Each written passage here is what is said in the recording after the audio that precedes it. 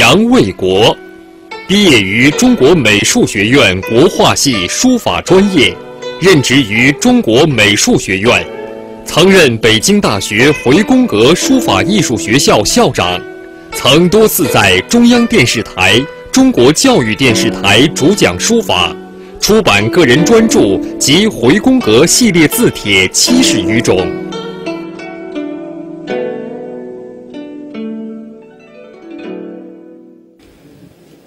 朋友们，大家好！今天我们接着讲这个结构的王羲之圣教序结构的组合举要。第三点，偏位形式结构的组合举要。什么叫偏位形式呢？也就是在很多与半包围有关的字里面，啊，它因为半包围的偏旁，它本身有一个偏位，因此呢要加以调整。这个调整也就是偏位对偏位啊，偏位对偏位的调整。那么这句话应该怎么说呢？就是汉字中因某些笔画或偏旁的单向伸展，导致了结构形式的局部偏位，故当采取再行反向偏位的手段，而使其。重新获得结构的平衡。第一，主体偏左的结构组合形式，我们来看一下这个字帖上面，啊，圣教序有几个独体字就是偏左的形式的。我们这样看，视觉可能我不说之前，大家不一定看得清楚啊。看看这个字还是在中间，有什么偏位啊？但是你仔细一分析，它主体的这个部分，这是一条中心线。除了这个撇捺，其他的主体的部分都移向左边了。长字主体部分移向左边，这个一横左伸右缩，最后来表示这个撇捺啊，撇捺虽然改成撇点。那么现在我来做一个演示啊，做一个演示。我先画一个相当于方形的一个格子，在里面再给它分成为四块，然后我们来写这个“梁”字。大家来看啊，第一，首先如果说我把这个一点点到中间。然后，这个横折也是居中。好了，这样写下来，你写到这里的时候还没有感觉到它的偏位。如果说你再下一步写下去，好了，这个字在格子里面整体偏位了，啊，整体偏位了，大家可以看。那么现在所谓偏位的，我们要进行调节。这个调节是怎么调呢？点略偏左边，这个部位也是略偏左边啊。然后写完以后，这个时候你再把这个加上去，这个字就相对的已经处于这个格子的中间部位。啊，可以中中间部位。那么我们再来看这个长短的长，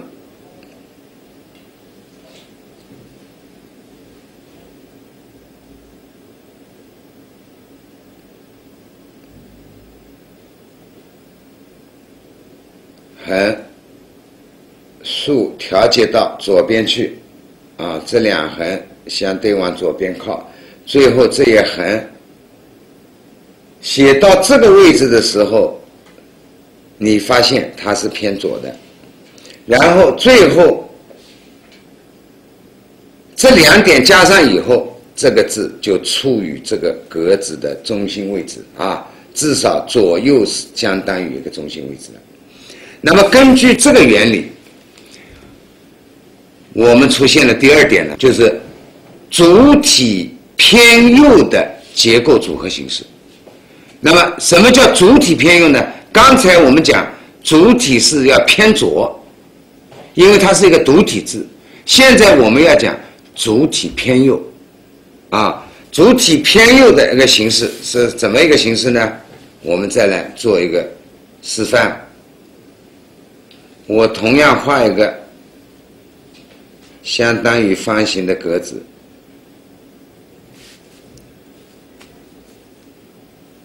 我写个“广”字。当这个偏旁写完的时候，它必定是偏左的，啊，这里没空间。那么，但是我现在要把这个空间填上去，半这是一个半包围结构。我把这个空间填上去，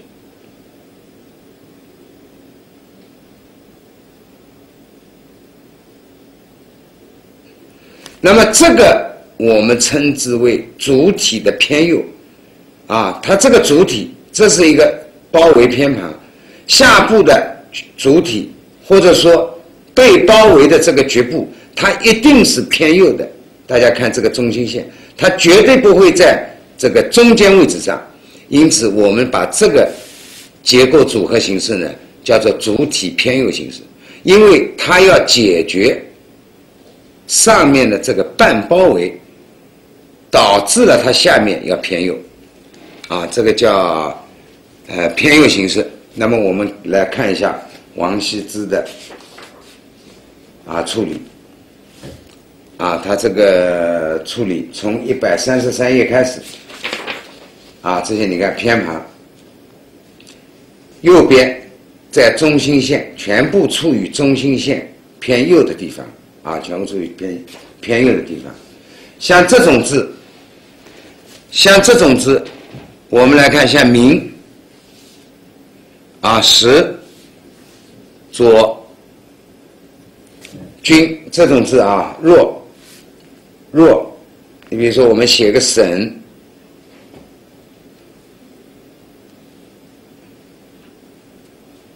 这个部位它不会，下面这个部位不会居于这个中心的，它一定是偏在它的右方，啊，偏在它的右方。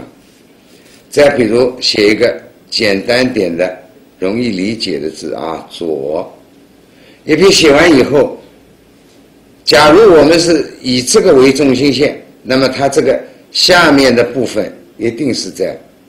它的右旁偏右的位置上，啊，这个就是主体偏右的结构形式。现在我们来再来讲第三点，叫错位调节的结构组合形式。这种错位啊，有两种原因。那么，因为客观或者主观因素所造成的局部错位，啊。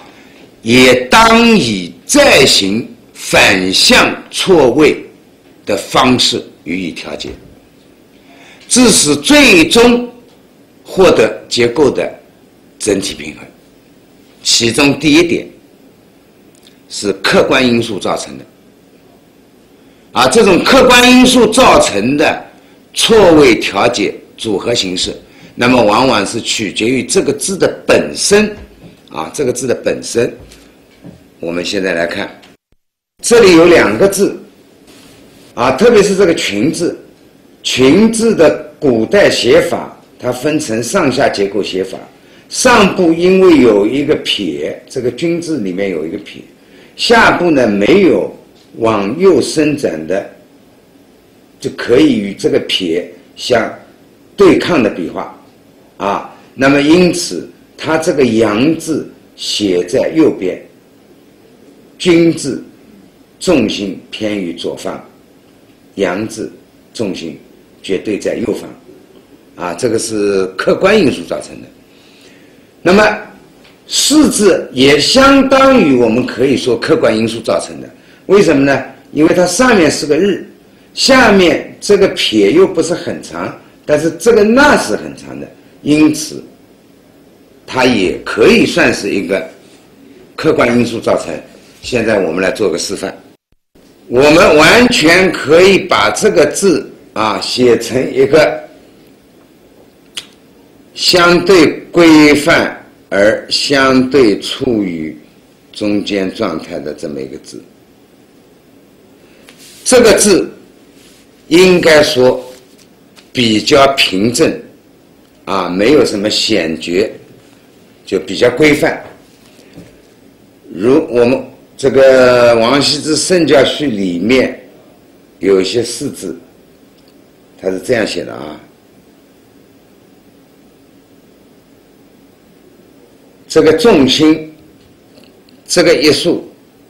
也就是这个一竖，它并不处于中心，它处于做它偏右的位置上，然后上去以后带过来，然后再下去，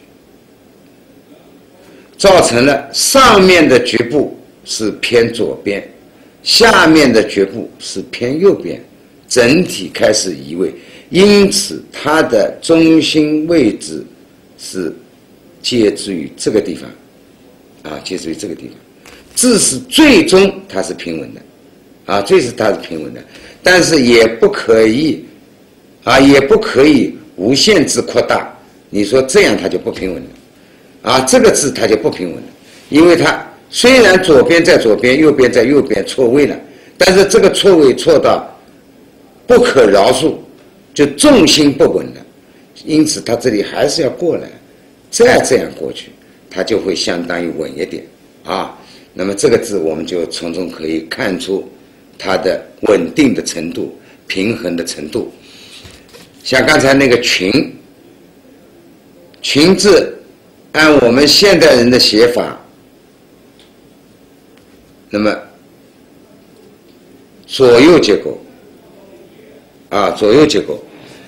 那么古代呢，是可以写成上下结构。上下结构，把这个“君”一半写到这里，然后这个口写完，然后下面一个“阳”，整体效果还是平衡的，但是它的重心位置，整个重心位置在中间是处于这个地方，上面一半，下面一半跑到这来了。但上面虽然也有一半是在右边，啊，那么这个字的动势，像这种字，就是我们行书里面说的动势。第二个，我们讲因主观因素造成的错位调节组合形式。刚才是客观因素，就这个字的本身它就存在的这种错位的形式，那么。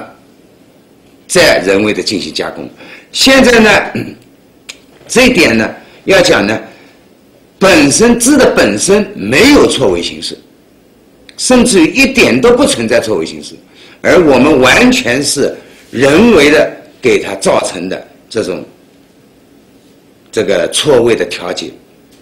我们现在来看，一，我们大家看这一二三四五六七八个字，除了刚才我们讲的这两个。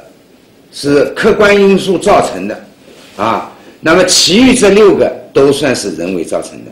大家可以想象啊，大家可以想象，这个“寿”字本身是一个中心位置很平稳的字，“密”字的总是总那个总体呢也是很平稳的，啊，像这种字都是上下平稳的字，但是《圣教序》里面他把很多字就处理成错位。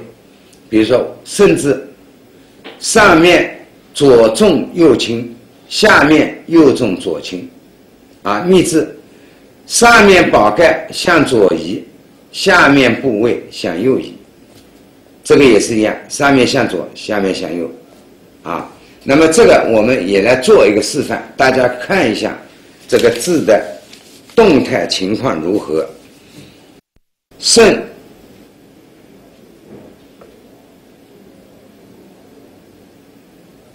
上面的本身写完以后，它是左重右轻，口字小。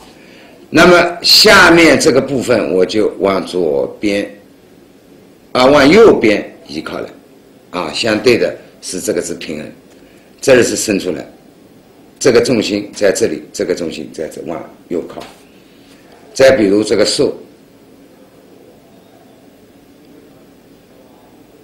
本来这个下面这个凸宝盖呢是去处于中心位置的而现在我们给它写成了左重右轻偏移了。那么这个时候下面同样往右偏，啊，下面往右偏，字。制造的字，反写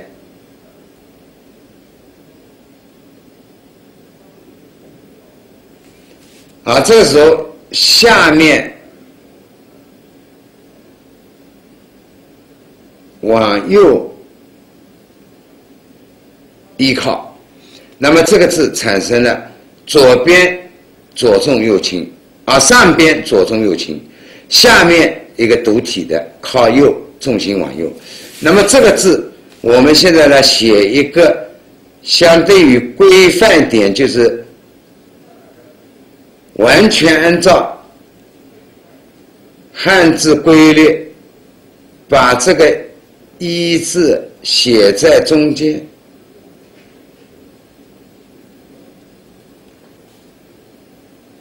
那么可以吗？当然可以啊。那么这个字就相当于一个比较平正的字，这个字就相当于一个比较显绝的字，它有动态，啊，主要目的是为了增加动态。那么这儿还有一个字，这儿还有一个惭愧的惭，我们大家来看，呃，原来呢是应该是一个竖心旁的字，现在呢，古人把它处理为上下结构的字。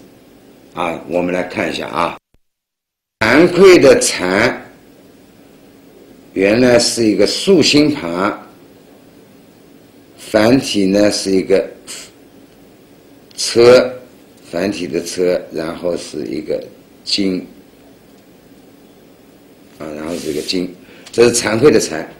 那么王羲之将这个惭字写成为上下结构。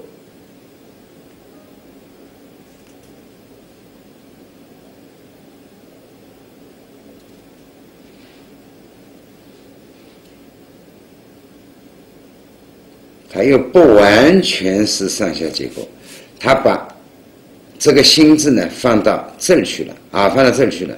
因为这个“心”字，古代从篆书来讲，就这个竖心旁，就这个“心”啊，所以现在这个叫竖心。那么像这种结构的那个变化，我们又可以从它这儿引申到。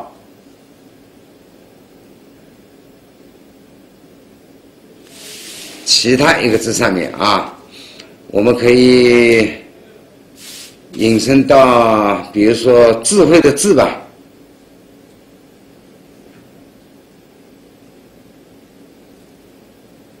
口字移到上面，日字移到下面，啊，也可以这样写了，啊，就可以可以引申为变变成这种状态的字，那么。上下结构错位错到这里去，那么错位调节的结构组合形式，其目的是为了什么呢？是为了加进字势的动感，啊，这个是非常重要，就是增加字的动感，使这个整个篇幅啊，给人以一种在静的过程中间产生的一种动态或者叫动势。第四，重叠并列结构的组合形式。汉字里面有很多重叠的字，也有很多并列的，还有重叠跟并列又合为一体的，又合为一种结构的那种字啊。那么我们先来讲上下重叠结构的组合形式。所谓上下重叠，就是上一个。部位跟下一个部位，或者叫上一个部件跟下一个部件是同类型一模一样的，那么它的原则是上面小下面大，这个我们前面已经讲过了，啊，上下原则，上下结构的原则本身就是上面可小的尽可能上面小，下面可大的尽可能下面大。又何况上下结构是成为一样的内容的，那么肯定是上小下大。我们来做一个演示，比如说多少的多。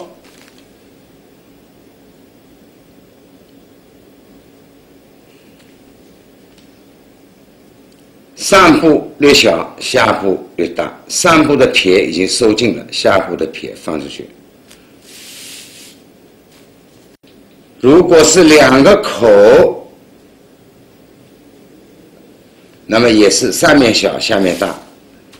如果是两个日。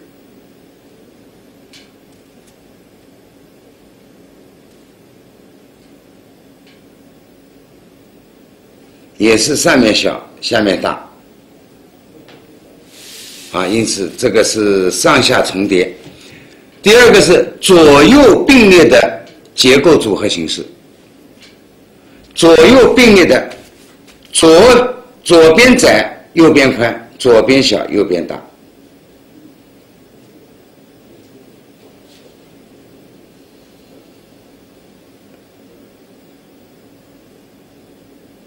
左边略小，右边相对大一点。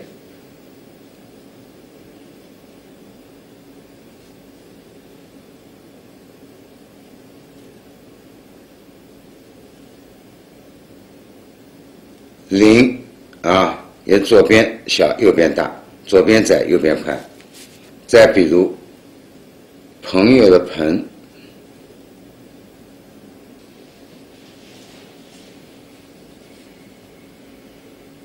右边要有意识的给它略做大处理啊，左边窄一点。第三个就是重叠并列共存的结构组合形式啊，共存的这什么意思呢？就像品质的品，大家看啊，品质的品，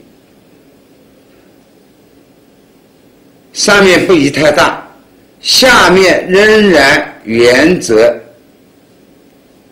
是左边小一点，右边大一点。像一个繁体的“虫”字，上面一个“虫”，啊，下面左边一个“虫”，右边一个“虫”，也是左边小，右边大。再比如像。森林的森，